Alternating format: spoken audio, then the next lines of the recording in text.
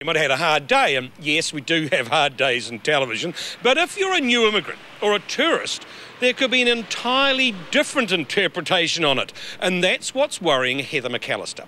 She sees and hears it all the time. Our Kiwi slang perplexing those not so familiar with it. And after conducting his own experiment, Matt Chisholm believes Heather's onto something. Kelly, did you catch the ABs at the weekend, bro? I'm not sure what you're talking about. After that meal, are you feeling knackered? Yes, a little bit, yeah. Why is that? Um, I, I'm just, it was too spicy actually. I hope that's what you mean. you talk something naked. I understood that word. Something naked? Yeah, yeah, you talked, I think, that. No, nothing naked. But you talked. Hey, where are you going but, with this? But you used that word. But you used I didn't use the word naked. Yeah, you used it. Sometimes it's not what you say, but how you say it. Even for people who have been living in an English speaking environment, um, they're not familiar with the, the um, New Zealand accent, and in particular, all the little Kiwi expressions. Izzy Dag's hard case, eh?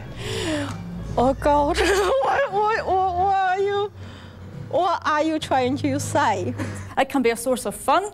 Sometimes, you know, you can have a great laugh about it, but sometimes it can be a little frustrating. Do you feel naked? No. Again, you used the word naked. so you used it, I, and I understood it. Naked right. and knackered.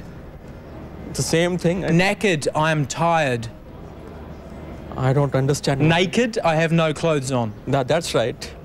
that's right, yeah. Some say that we New Zealanders. We Kiwis. Use far too much slang. When talking to migrants and tourists. It's also been suggested that it's scaring them off. Community involvement.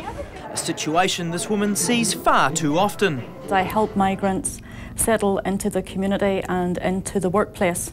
Heather McAllister, the Settlement Support Coordinator at the Rotorua District Council, has called on her community to talk slower and use less slang when talking to migrants and tourists. What are the common phrases we use? Oh, chirp, brute, beat, and you know, stuff like that, just little things. Yeah, nah. Communication is a, a two-way process and from what I see, migrants are, are really putting in a big effort and it's just being mindful to just do your 50%. We need to pull our finger out. Yeah, absolutely. just watch where you're putting it. Is there a risk associated with talking too slowly? Yeah, totally. You sound like a moron. Uh, so. While some Rotorua locals seem to get it, generally the ones who rely on tourists for their bread and butter. I do try to talk slower because you put yourself in their situation. Others are going to be tougher nuts to crack. Yeah, I think we talk alrighty. Yeah, I think I think they're slow. Rather than we talk too fast, I think they think too slow. I reckon we should just stick to how we talk and, well, if they can't understand us, maybe they should go back to where they come from. I've given up on the general public. Enter former radio and television presenter and now voice coach, David England, who's a bit of a stickler for the rules. The trouble with most Kiwis, they speak so fast that everything's in a straight line, nothing's standing out. If you speak fast, then your pitch is going to go right up into the head and this sort of thing, and then also it affects clarity. They're chomping at the bit, eh? Can you talk a bit slower? We don't use too much slang. It's just that it's no use using it on migrants. They simply will not have an idea of what you're talking about because if you say, oh, how are you? Oh, I'm a box of birds. Box of birds? Migrants really want to be able to use those expressions themselves. So should we be using slang or shouldn't we? I think it's really up to the situation and the people you're talking to. Um, just really assess it and pick up, up on all the body language and visual cues. Sweet. Now that we've got that sorted, what else really gets oh, under definitely. David's skin? We distort our vowels before letter, poor old letter L, and we talk about Wellington, Nelson, and Melbourne, and we talk about health, wealth, and welfare. We can't pronounce an EL. And with ILs, once again, uh, you know, you're getting a bottle of milk.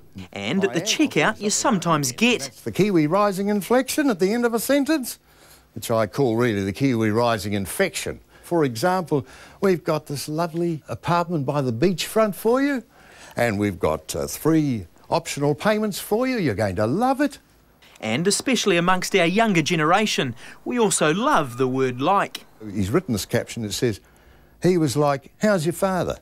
I was like, mind your own business. but we were like being real full on friendly, really.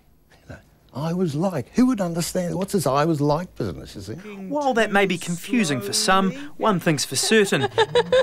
when it comes to talking to tourists and migrants, with the right attitude, you'll have a lot of fun trying. So when I said it's hard case, what did you think I meant? I mean, it's a hard case. I thought that's what you meant. No, it's funny. Oh, okay, that's funny. So we laugh? Do you ever say sweet ass? No, not very much. Do you ever say bro? Yes. Throw it at me. Bro, cuz. And I'm sure it's a great relief to you that I'm merely knackered and not naked. Listen, we'll be across things here at the High Court tomorrow. For now, though, that is New Zealand close up.